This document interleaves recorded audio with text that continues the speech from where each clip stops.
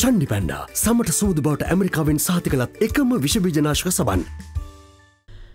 ඉකුත්දා පාර්ලිමේන්තුව විසිරවා හරිමින් ජනාධිපතිවරයා විසින් නිකුත් කළ ගැසට නිවේදනය අත්හිටුවමින් ශ්‍රේෂ්ඨාධිකරණය මගින් අතුරු තහනම් නියෝගයක් නිකුත් කර තිබූ පසුබිමක පාර්ලිමේන්තුව කැඳවීම තුළින් කතානායක කරු ජයසූරිය මහතා අධිකරණයට අපහාසයක් සිදු කර ඇතැයි චෝදනා කරමින් ශ්‍රේෂ්ඨාධිකරණයට අද පෙරවරුවේ මෙම පෙත්සම ඉදිරිපත් වුණා. පෙත්සම්කාර නීතිඥ අරුණ ලක්සිරි මහතා කියා සිටින්නේ මෙම තහනම් නියෝගය තිබියදී පාර්ලිමේන්තුව කැඳවීම තුළින් කතානායකවරයා ආණ්ඩුක්‍රම ව්‍යවස්ථාවේ එකසිය පස් වන වගන්තිය යටතේ ශ්‍රේෂ්ඨාධිකරණයට අපහාස අපහාසයක් සිදු කර ඇති බවයි. කතානායකවරයාගේ ක්‍රියාකලාපය තුළින් ඔහු ශ්‍රේෂ්ඨාධිකරණයට බලපෑමක් සිදු කර ඇති බවට ප්‍රකාශයක් කරන ලෙසත් මෙම පෙත්සම් පිළිබඳ විභාගයක් පවත්වා සුදුසු දඩුවම් පමුණුවන් ලෙසත් ඉල්ලා සිටින බව පෙත්සම්කාර නීතිඥවරයා වැඩිදුරටත් සිය පෙත්සමෙන් කියා සිටිනවා.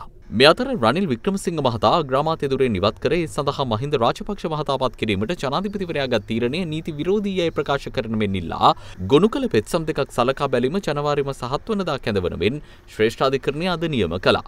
පූජ්‍ය දඹර අමිල හිමියන් සහ ජනාධිපති හිටපු සම්බන්ධීකරණ ලේකම්වරයෙකු වන ඕෂධ හේරත් විසින් මෙම පෙත්සම් ඉදිරිපත් කර තිබුණා. මෙම පෙත්සම් බුවන කළු විහාරයේ සිසිර දාබෘ සහ මුරුදු ප්‍රනාන්දු යන විනිසුරු මඩුල්ල හමුවේ අද කැඳවනු ලැබුවා. ඉදිරි රජයේ නීතිඥවරයා අධිකරණයට දන්වා සිටියේ මෙම පෙත්සම් සම්බන්ධයෙන් උපදෙස් ලබාගෙන කරුණු දැක්වීම සඳහා කාලය ලබා දෙන ලෙසයි. යනුව පෙත්සම සලකා බැලීම ජනවාරි මාස 7 වෙනිදා සිදු කරන බවත් එදින මේ සම්බන්ධයෙන් කරුණු දක්වන ලෙසත් ශ්‍රේෂ්ඨාධිකරණය පාර්ශවකරුවන්ට දන්වා සිටියා. පෙත්සම්කාර හිමියන් කියා සිටින්නේ ඉකුත් මස 26 වනදා රනිල් වික්‍රමසිංහ මහතා ග්‍රාමාත්‍යදුරෙන් ඉවත් කොට එම තනතුරට මහින්ද රාජපක්ෂ මහතා පත් කිරීමට ජනාධිපතිවරයා ගත් තීරණය ආණ්ඩුක්‍රම ව්‍යවස්ථාවේ 19 වන සංශෝධනයේ ප්‍රතිපාදන වලට පටහැනි බවයි. මේ හේතුවෙන් ජනාධිපතිවරයාගේ ක්‍රියාකලාපය තුළින් සිය මූලික අයිතීන් කඩවී ඇති බවට තීන්දුවක් ලබා දෙන මෙන් ඉල්ලා සිටින පෙත්සම්කාර දඹර අමිල හිමියන් මහින්ද රාජපක්ෂ මහතා අග්‍රාමාත්‍යදුරේ කටයුතු කිරීම සහ අමාත්‍ය මණ්ඩලයේ ක්‍රියාකාරීත්වය වළක්වාලීමේ අතුරු තහනම් නියෝගයක් පෙත්සම් විභාගයේ අවසන් වනතුරු නිකුත් කරන මෙන්ද